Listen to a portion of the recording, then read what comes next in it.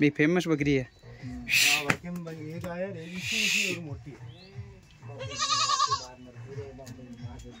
और खड़ी करा एक जा मंडी। एक बार टाइम को नहीं है मोटे मोटे को दिया गया।